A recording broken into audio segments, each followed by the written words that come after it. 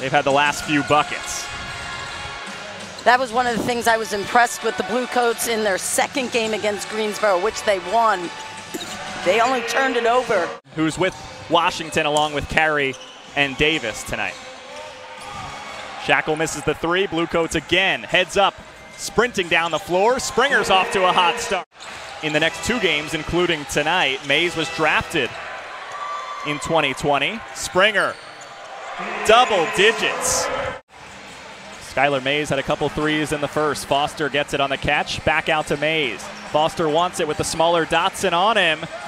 And the turnaround goes. Former two time Big East Player of the Year and Defensive Player of the Year. That was 2012 to 16. He was at Providence, at Providence College. Yep. yep. Foster Jr. before going to Ignite. Here he is, 10 on the shot clock. Out to Skylar Mays, the LSU product. Nice feed. Foster with the jam. 2.50 left in the second quarter. Justin Smith, five to shoot. Over to Springer. Todd closes out. Springer puts up a tough shot, and it goes. Game clock now at 20 seconds left before the half. Springer gets the roll. You know, only certain people, and he included John in that group.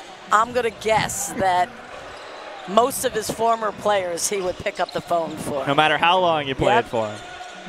Three ball, Michael Foster Jr. Eaten up a little bit. He had 14 at the half. He's had a couple of baskets here in the second half. Mays skipping in transition, shovels it to Foster, who finishes strong. Count it plus the foul. Make the extra pass. Jackson's three for three from three in this game. Springer gets two back. and felt like they were a little late getting into it.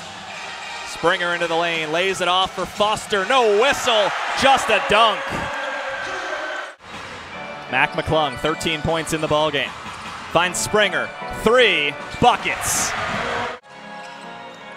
Now, he didn't make a basket Down because five. I don't know what you would do. Five seconds left. Foster's three finds the bottom of the net with 2.9 left.